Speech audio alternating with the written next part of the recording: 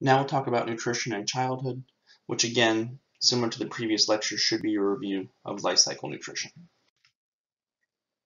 So weight typically increases 2 to 3 kilograms per year until children are 9 or 10 years of age.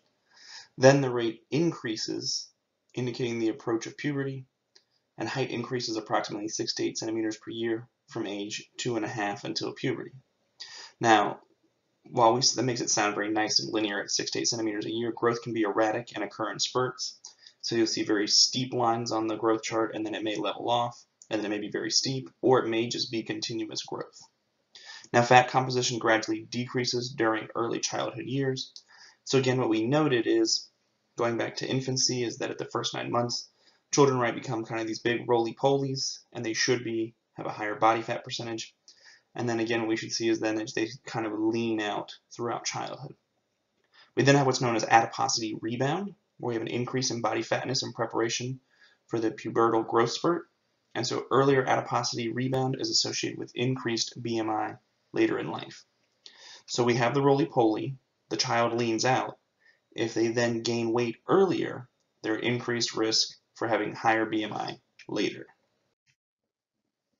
So we do have the CDC growth charts for 2 to 20 years of age to evaluate height, weight, and BMI. So yes, right, pediatric conditions are considered up until 20 years of age because again, while the law may be arbitrary at 18, when we're looking at physiological development, again, we're looking up until 20.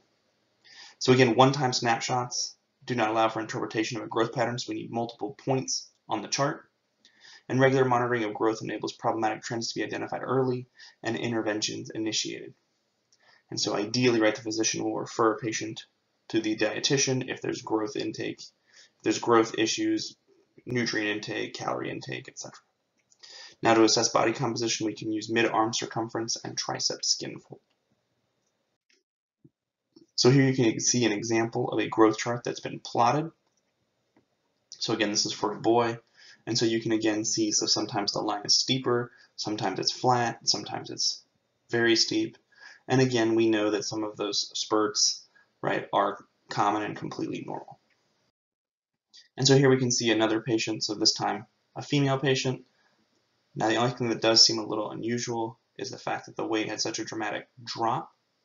But again, this could be a change in um, recording. So I know for one at one point my child's growth chart actually showed a decrease in height, which is obviously not possible. So again, we want to make sure that we're getting accurate measurements. So we've seen these charts previously looking at the rate of growth. Now again, instead of seeing them from 1 to 2, we've now seen them from 3 to 20, and you can see there's a significant decrease. So for example, the mean rate of weight gain for boys at 3 to 4 is 1.9 kilos per year. And remember that as a newborn baby, it was 935 kilo, 935 grams, or almost one kilo a month. So you can see, right, this is in essence almost 10 times slower when compared to an infant. So we do have the DRI from the Institutes of Medicine. So this is inside every textbook you'll ever use. So again, children are constantly growing and developing and weight gain is necessary. And so they do need the more nutritious food in proportion to their size than do adults. So we're not growing up, adults only grow outwards. Children are growing both up and outwards, and so they actually need higher quality and better and more nutritious food than adults do. When we look at macronutrient distribution, so for one to three year olds, we want 45 to 65% of our calories as carbs, 30 to 40% as fat, and 5 to 20% as protein. And then at 4 to 18 years of age, we instead see right this decrease in fat intake of 25 to 35% and an increase of 10 to 30% of our diet from protein. So again, we know that infants and children need higher amounts of fat to support their growth. But again, at four years of age, right, we actually decrease the fat intake in the diet. Here again is the previous chart. So instead, we're no longer focused on the infants portion. We're now focused on the children's portion. And again, here's the equation for estimated energy requirements. And so again, we're looking at so young children. And again, you can see the equation with the different adjustment factors. Again, a nice summary. Here we have the Schofield equation, which is a slightly different equation. And so again, this one does have stress factors. I would encourage you, if you want to just see the difference, take an example and use the equation for the same person and just see how similar the numbers are. Here again, we have the World Health Organization equations, but instead of focusing on 0 to 3, you'll notice the 3 to 10 and 10 to 18. For protein, needs decrease slightly from early childhood to late adulthood.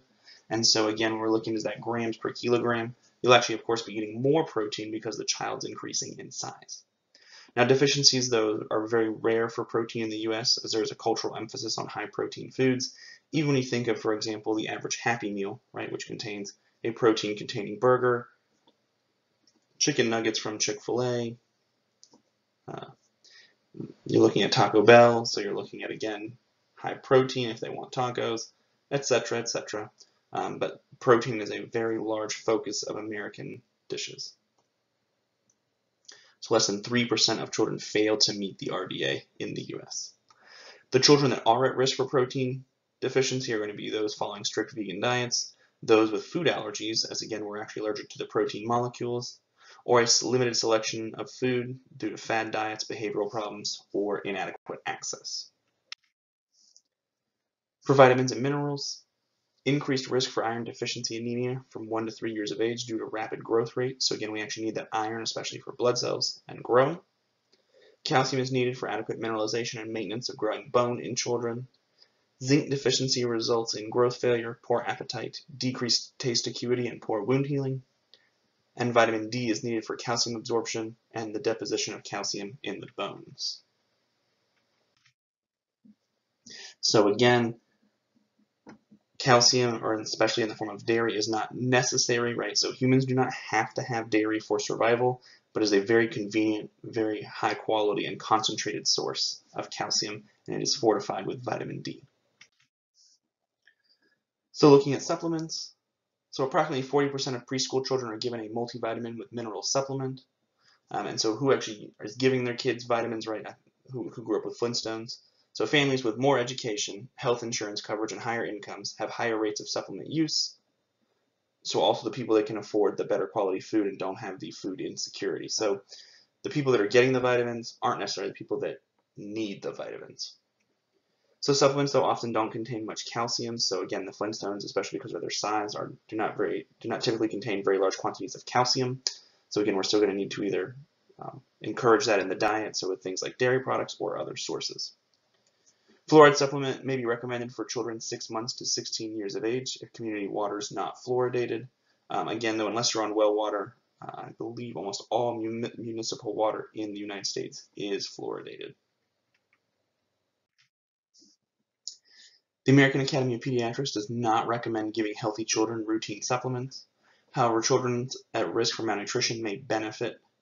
So these are patients with poor appetite, poor intakes, um, on fad diets, and this can be, again, caused by the family. If they have a history of chronic disease, deprived families or children of abuse or neglect, children on diet programs to manage severe obesity, uh, children that are either allergic or choose not to consume dairy products, and if there's an observed case of failure to thrive. So again, I think we all kind of grew up with or are familiar with the infamous Flintstones. I think it's funny, it's still the vitamin, even though children these days have literally never seen these cartoons. Now we will talk about catch-up growth, and I'll review this during the Zoom session as well. So it involves a rapid increase in weight, length, and head circumference and continues until the normal individual growth pattern is resumed. So this is commonly done with premature infants and infants with failure to thrive, or a child recovering from an illness or undernutrition that's experienced slowed growth or ceased growth. We're going to give them extra nutrients and calories and protein to help them catch up and reach where they quote unquote should be. So our goals for catch-up growth are going to be improved energy intake, promoting weight gain, allowing optimal growth, and correcting any nutritional deficiencies. Once the child catches up in weight, then dietary management goes back to being focused on slowing the rate of weight gain so that they just stay on the normal curve and don't continue to accelerate beyond normal. So what you're going to do is plot the child's height and weight on the growth chart, determine the child's recommended calories and protein for age based on the RDA, and determine the ideal weight at the 50th percentile for the child's height. Multiply the RDA calories by, or protein by ideal body weight for height, and then divide this by the child's actual weight. Now that sounds horribly complicated. And so while that description sounds really complicated, when we look at it, it makes sense. So you just have to realize that for catch-up growth, people need more calories. So what you would do is you look at the number and you take the calories for their age, multiply them by their ideal weight for height, and divide it by their actual weight. And so what you'll see is then the calorie numbers will go up. If the number doesn't go up, you know you've set the problem up incorrectly. So we'll do this example and we'll review this during the Zoom session, but you can actually plot this. So if you want to print this out or if you want to do it on your computer with a ruler. So in essence, a normal child would be getting 108 calories per kilogram, but because they're behind and they're so low on the growth chart, we're going to increase their calories to 144. And so we will review this math during the Zoom session. So providing an adequate diet, so more food is consumed in environments outside of the home.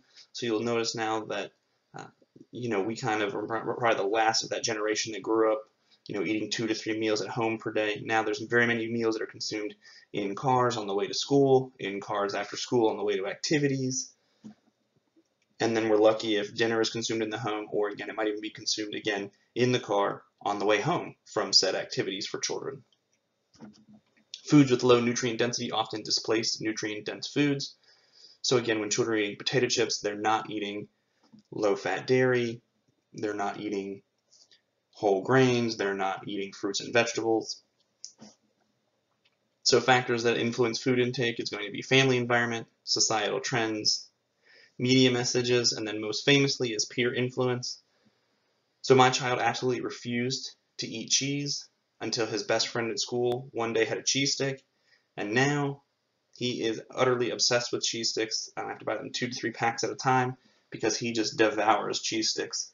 No matter how much and how delicious I promised him they were, it wasn't until a friend of his he saw them and wanted to steal one from their lunchbox that now he thinks they're the greatest thing ever.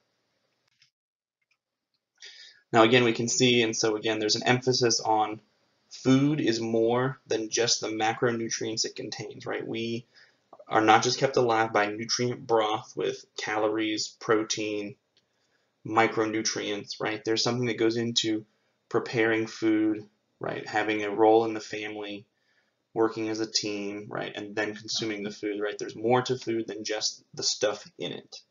And so again, we want to still encourage this, right? So we're not just mindlessly eating, uh, buying food outside the house, etc. So feeding preschool age children.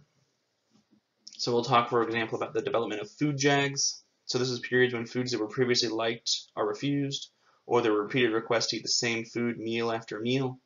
Um, and so this is part of development and is, is normal, which is very, very frustrating. But this is where, like, for example, kids are obsessed with macaroni and cheese, and they want it every single meal. That's all they want. But then after two weeks, they don't want that, and macaroni is disgusting. And they only want dino nuggets over and over and over again. So it's very frustrating, but this is very normal. Um, but again, we just want to respond the best we can. So again, if we can get them to eat other foods, but again, we still need to get them to eat. So better that they eat than not eat. So we want to offer preschool age children small servings frequently at four to six times a day. And so we say snacks are as important as meals because it's not really true meals so much as snacks and meals basically are just mini-sized meals for these types of patients. We want to avoid excessive juice intake. Again, this can result in diarrhea and may decrease appetite. And high intakes of high fructose corn syrup may lead to increased triglycerides and insulin resistance even in young children. And we, of course, want to limit and avoid processed foods and high sugar beverages. And so I don't know if any of you ever grew up eating at the infamous kids table, um, but again, as stated previously, right, is that actually observing their peers eating food. So one, eating with their peers increases intake, and then two, when they see their peers consuming a specific food, they may be more apt to try a new food, right, or selecting a new or different food. Like I said, my child would consume yogurt, but he absolutely refused to eat cheese until he saw a classmate eating string cheese, and now it's absolutely the most like important thing of the day. So for school-aged children, we have a constant increase in food intake from 6 to 12 years of age. So they're going to get larger and eat more food. And so to help with this, uh, so we do have the National School Lunch Program that's run by the USDA. So the levels of fat and sodium remain relatively high while the levels of fiber remain relatively low. And 42% of schools surveyed did not offer any fresh fruit or raw vegetables on a daily basis. Now we do know, so there are things that are being done to combat this. So there actually was a grant that was piloted in Orange County schools where they were actually using fruits and vegetables produced by local farms were then being so they were being bought by the government and then being used in the Orange County schools to increase exposure to fruits and vegetables as well as stimulate the local economy. So the kids are actually normally are willing to eat it, they just have to actually be offered it and exposed to it. We know, of course, that when recesses before lunch, children eat better. We need to get recess or physical activity back in, in schools. Um, again, it, it, has positive mental aspects, it has positive digestive aspects, right? We, we know that children need to have playtime. So children who require special diet due to medical condition, um, as long as it's reasonable, will receive modified school meals. So if somebody's allergic to something, right, they will provide a substitution, etc. Um, so again, and that's all part of an IEP. And so if you're not familiar with an individualized education plan, and so again, this has regulations that they need to honor, and so you actually may have to uh, work with a patient. So if they need to have a specific diet at school, you may actually be involved in the development of that child's IEP. So let's just pack lunches at home. Um, and so it sounds great in theory, but lunches packed at home actually usually provide fewer nutrients, but they are lower in fat, right? So uh, part of this is so the choices are limited to those that travel well and require no heating or refrigeration. But the truth of the matter is that ice picks, ice picks, my goodness, ice packs do not really make up for the food safety issues. But when you think of, so for example, uh, a turkey sandwich on white bread, so it's going to be lower in fat, but again, the turkey has no micronutrients, the white bread has no micronutrients. So all you've really done is lower the fat of the, of the meal. Breakfast is often skipped. Children who go to school without breakfast are more likely to experience performance deficits than those who eat breakfast. So what did we do? We created the National School Breakfast Program. So again, we then provide children with breakfast to help improve attendance and performance at school. Now looking at rates of overweight and obesity, so 16.9% of 2 to 19 year olds have a BMI over the 95th percentile, and 31% have a BMI over the 85th. Now when you break this down and stratify this a little bit more by school by childhood age children versus closer to right those adolescents. So 10.4% of children have a BMI over 95th percentile, and 21.1% have a BMI greater than the 85th percentile. So there's an increase in prevalence of overweight children, and this is a combination of factors, but uh, so readily available access to eating and food establishments. So again, as we talked about, when you look at, for example, Keiser University, and we have easily 10 restaurants within walking distance of the university. I don't know if you've ever driven down Griffin, but you have that apartment complex there, where again you have families, so you can see that food is now readily more readily available than it ever was before. Eating is often tied to sedentary leisure activities. Um, so just in life, right, when you think about um, when you have soccer, we have to bring a snack. When it's a kid's birthday, we bring food to school. Uh, after dance class, we have to get a snack, right? Like it's it seems like as soon as the activity stops, food's always involved. Um, and this is if we're watching TV, we have food. If we have friends over, we have mom serves food. Um, and it's not it's not a bad thing, right? But it's it's the choices we're offering while we do that. Children are making more food choices and contributing to eating decisions. Again, just look at what's at so look at what's at your waist height, which is aka children's eye level next time you go to the grocery store and you'll see every popular food you can imagine. Portion sizes now are unbelievably large. We have decreased physical activity with a lack of recess and play and physical activity in schools. So a lower prevalence in obesity among children that regularly engage in eating the evening meal with their family. So again, a home cooked dinner. Children that get adequate amounts of sleep and children that have limited screen time. So many overweight children have one or more cardiovascular risk factors though, such as hyperlipidemia, hypertension, or hyperinsulinemia. Again, families are essential for modeling food choices, healthy eating, and leisure activities for their children. And so healthcare providers should support and encourage positive parenting. Underweight and failure to thrive can be caused by acute or chronic illness, restricted diet, poor appetite, feeding problems, neglect, or lack or access lack of access to food. And so an interdisciplinary team is beneficial looking at the social, emotional, and physical findings in addition to nutritional. So it's real simple. Why isn't this kid growing? Oh, he needs to eat more. Well, of course, but why are they not eating, right? Again, is it family issues? Is it access to food, right? So there's, there's more to those types of questions. So iron deficiency, so poor cognitive performance and delayed psychomotor development in patients with iron deficiency and excessive milk consumption may increase the risk. Again, we know this is a poor quality source of iron. Other nutritional issues with children is dental caries from poor dental hygiene. Food allergies, ADHD, and autism can all increase the risk that the, that the patient develops nutrition deficiencies or has poor growth or can lead to failure to thrive.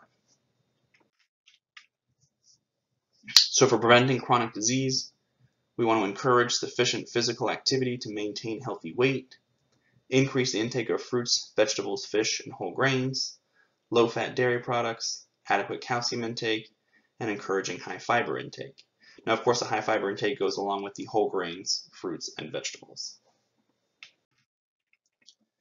So here you can see, so the children still have, there is a, there is a smaller plate for them now, but there is still the pyramid. And so what I just wanted to mention with the pyramid is that we do have the physical activity, which again is a more important thing to manage with a complete, so of course there's food at school, right? So with the school lunch program, school breakfast program that has regulations, but there's almost no physical activity. And so you can see we want children to have physical activity every single day, which means either before or after school, we need some kind of physical activity for them.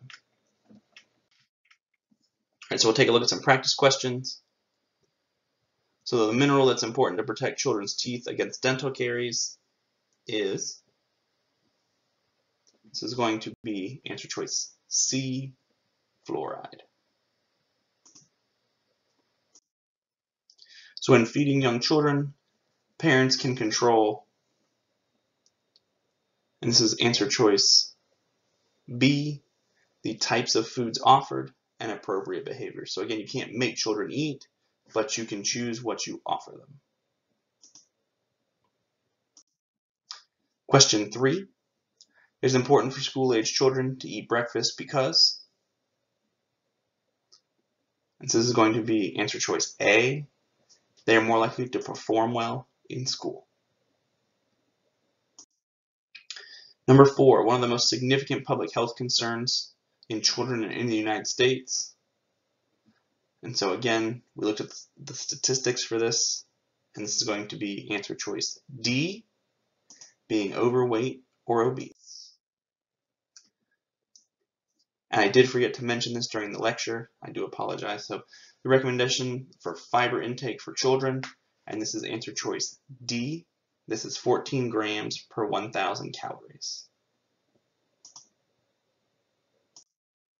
Thank you, and I look forward to your questions during Zoom. And again, we will be reviewing the math for catch-up growth and additional calories during the Zoom session. Thank you.